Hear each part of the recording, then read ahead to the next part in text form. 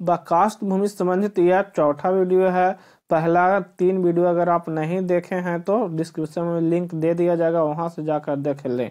तो ये चौथा वीडियो में आज हम बताएँगे कि अगर खतियान में बकास्त आपको दर्ज है, वो आपके पास अगर पट्टा है तो वह ज़मीन सरकारी होगा या रहती तो रैयत होने के लिए नीम कागज़ होना चाहिए।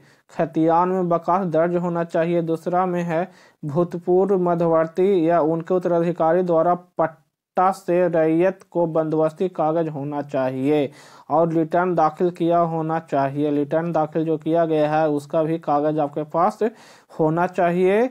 और जो आपका भूतपूर्व या मध्यवर्ती जो जमींदार था, उन, उसके द्वारा या उनके वंशज के द्वारा पट्टा दिया हुआ होना चाहिए।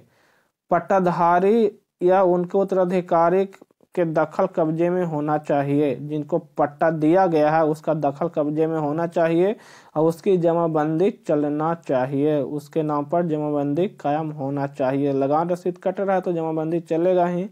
तब पट्टाधारी के नाम पर खाता खुलेगा। अगर सतवा पॉइंट है, यदि खतियान में बकास दर्ज है और उससे भूतपूर्व या मध्यवर्ती या उनको उत्तराधिकारी ने किन्हीं को हस्तांतरित की है तो ज़मीन किसकी होगी? सरकार को होगी या रैती होगी? तो मान ले मल्लू पांडे जमींदार था, उसका वंशज एक भोला पांडे था।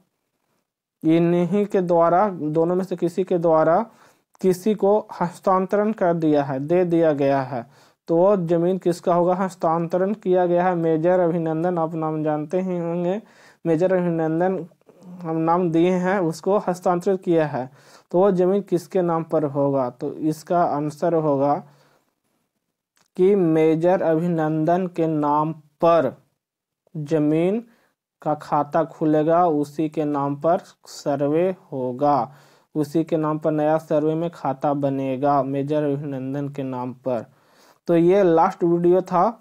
बकास संबंधित भूमि का अगला हम वीडियो बनाएँगे। गर्मजरुआ मालिक भूमि, आपके नाम पर कैसे होगा, उसके लिए कौन से कागज़ चाहिए? तो ये वीडियो आपको कैसा लगा? कमेंट सेक्शन में बताएँ। और कोई भी समस्या है तो जल्द से जल्द कमेंट में बताएँ, उसका हम जल्द से जल्द रिप्लाई देंगे। तो thanks for watching subscribe the channel bell icon को दबा लें। एंड वीडियो को लाइक कर दें। Thank you.